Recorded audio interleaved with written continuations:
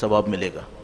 جس طرح حق کی کہانی لمبی ہے، ثواب کی کہانی بھی لمبی ہے۔ میں بلا کسی تاخیر روایت آپ کی خدمت میں عرض کر دوں، انشاءاللہ خدا ہمیں اور آپ کو سب کو اور جہاں سے مجھے یہ روایت ملی ہے، ان کو بھی اس کے ثواب اور عجر میں شامل فرمائے گا۔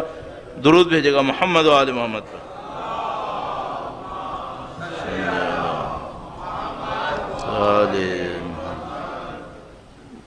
مجھے شاید ڈھونڈنے میں ایک منٹ لگ جائے، ایک دفعہ پھر درود بھیجے گا محمد و آل محمد۔ صلی علی محمد آل محمد وعجل فرجم. شب جمعہ پروردگار انشاءاللہ آپ کی اور ہمارے مرحومین کی. اللہم صلی علی محمد آل محمد وعجل فرجم. امین مومنین سے ایک روایت ہے، جلدی جلدی میں وہ بھی عرض کر دوں، فرمایا اگر کوئی شخص جو بیمار ہو، اس کے لیے اچھا ہے روایت سن لے۔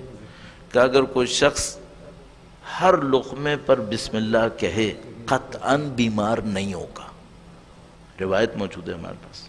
فرمایا اگر کوئی شخص ہر لقمے پر بسم اللہ کہے، قطعاً بیمار نہیں ہوگا۔ تو میں سوچتا تھا کم سے کم ہاسپٹلز میں تو کر لو یہ۔ کہ مریض ایسے ہوں کہ ان کو بولو کہ بھائی اب ہر لقمے پہ بسم اللہ پڑھو، شفا ملے گی انشاءاللہ۔